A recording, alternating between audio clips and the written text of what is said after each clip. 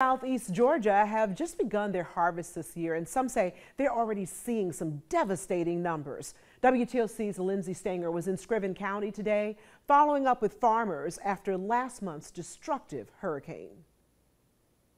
Screven County farmers are estimating a nearly 50% yields loss over this entire year, which not only could affect this year's income for themselves, but also could threaten their entire livelihood.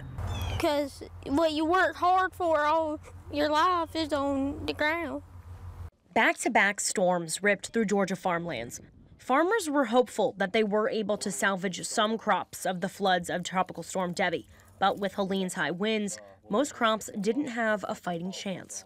We had a pretty good crop going into this fall, but I would say half of it blew away.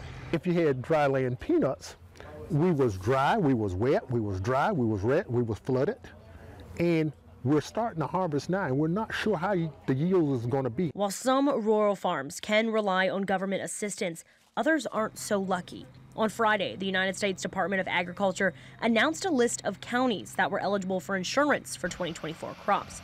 Screven County was not one. I was really disappointed when I got the, the news about it. Uh, we weren't going to be in the designated area. Leaving farmers here feeling forgotten. Could be the difference between getting your loans paid out and trying to refinance. The Department of Agriculture Commissioner Tyler Harper told WTOC when discussing the impacts of Helene, saying, quote, now the future is uncertain for far too many Georgia farmers and farm families who were devastated by Hurricane Helene.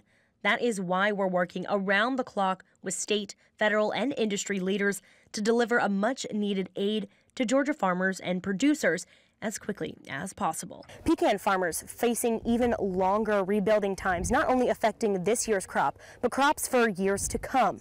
The problem is so many trees are damaged and they won't be back next year. It'll take four or five years for them to come back. Another financial strife in an already struggling industry. Farmers are left hoping for a better year next year. Screven County, Lindsay Stanger, WTOC News.